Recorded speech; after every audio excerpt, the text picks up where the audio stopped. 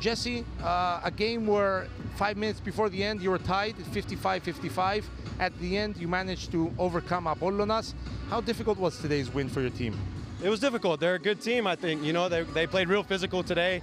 They took us down to the last five minutes, and we managed to make some shots and get some stops. But for most of the game, they were more physical than us, and we got to be better in that area. But overall, I think they're well coached. They have good players, and they deserve to be right there at the end with us. Ήταν δύσκολη νίκη, ε, πολύ καλή ομάδα. Ε, μα έπαιξαν πιο φυσικά από εμά, πιο δυνατά από εμά.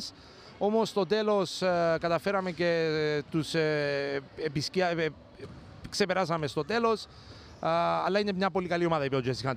Jesse, uh, it's another season in Nike for you. Uh, after uh, playing for Geravnos and going through a serious injury, you're stronger than ever. At least that's what we see you in the court. How do you feel uh, as an individual in Nike in this uh, difficult season with the European Games and, uh, and everybody's going after you as a champions? Yeah, it, it's good. It, I feel great. Uh, last year we were kind of the underdogs going into the finals. Keravnos was the favorite, um, so it's a bit different this year in terms of mindset. But with the European games, obviously we're a bit tired. you know, we're traveling a lot, but um, I love the challenge. I love playing the really good teams, and I love AEK. I mean, I love the ownership. They keep bringing me back for a reason. So um, it's been a great time, and I hope I can continue my career here.